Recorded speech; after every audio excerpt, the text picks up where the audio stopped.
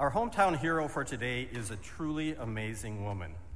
Kathleen Jensen went from suffering her own battle with depression, anxiety, PTSD, and suicidal ideation to founding, a, to founding a program that, in her own words, helps prevent suicide one heart at a time through serendipitous words of encouragement.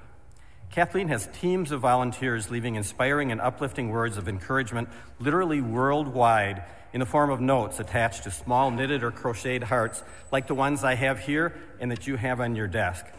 Each heart has a note such as, You are truly beautiful. You can totally do this. You have the strength to face any challenge. Your life matters. The good things in life are better with you. Everyone has a packet of these at your desk, and there's also additional hearts on the table in the parlor. Please help yourself.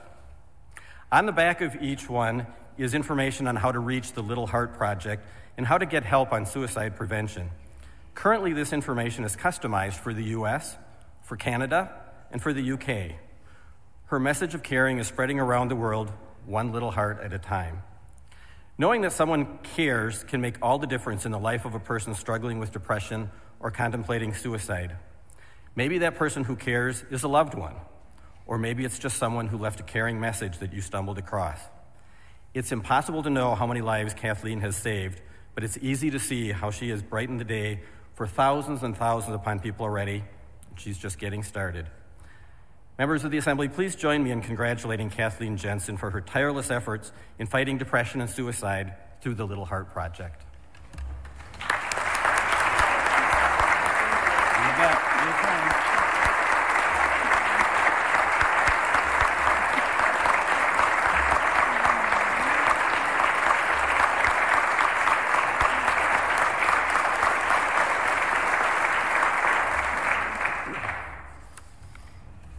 Thank you. Thank you, Representative Seedwell, for nominating me for this prestigious award. And thank you to Jimmy, his research assistant, for his help with all the details. I'm so honored to be recognized today as a Wisconsin hometown hero for the work that I'm doing with the Little Heart Project. At a base level, our project is a random act of kindness. Beyond that, we're trying to reduce the stigma around mental health and hopefully prevent suicides. This is definitely happening, and this award is for every single person that has joined us in our efforts.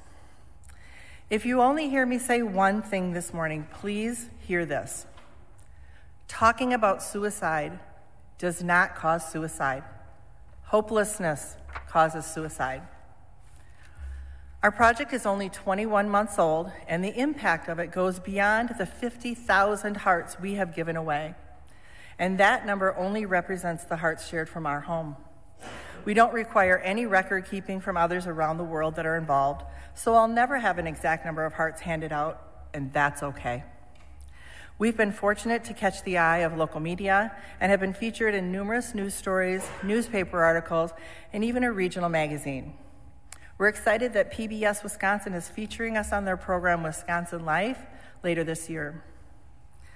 Like Steve said, I have suffered from depression, anxiety, PTSD, and suicidality for the past 10 years.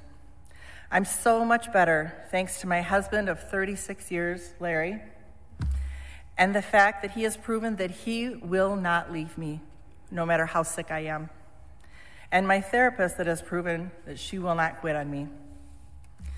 Recently, I underwent IV ketamine infusion therapy at Forward Ketamine, just blocks from here. This is a life saving medication that heals your brain for all the things that have plagued me. I'm feeling so much better after receiving this treatment, and I highly recommend it to anyone that meets the criteria. I still have depressive and suicidal episodes, but they are much shorter in length, and I come out of them much more cleanly. I believe it is okay to not be okay, and I believe that it is okay, even necessary, to talk about it. If we want to remove the stigma around mental health and hopefully prevent suicides, then we have to talk about it. And now we also means me. I've heard countless stories about how getting involved with the Little Heart Project has opened up conversations around mental health and suicide. The act of crocheting hearts or tagging them provides a mindful activity that helps our brains and spreading kindness through the involvement in the Little Heart Project is so good for people's mental health. We even have a group of men from a Wisconsin prison making hearts for us.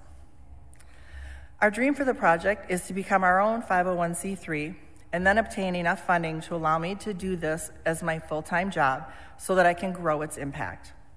If you know of a benefactor that would like to sponsor us, please have them contact me. Our world needs more kindness, and our project gives people a tangible way to do this. Each of you did receive a bag of 10 hearts, and those are made from people all across Wisconsin. I've I collected the 144 different sayings on our tags over the eight months that we planned and dreamed about what the Little Heart Project could be.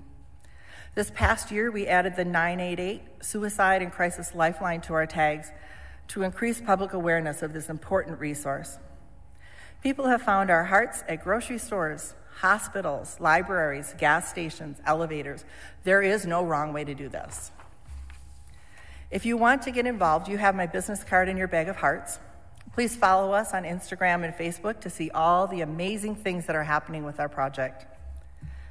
My main takeaway for you today is talking about suicide does not cause suicide. Hopelessness causes suicide. Ultimately, we're trying to reduce the stigma around mental health and prevent suicides one heart at a time. Our hope and vision for the Little Heart Project is that the making, leaving, and finding of these hearts will cause a ripple effect of kindness, which will help someone feel loved and valued. What could be better than that?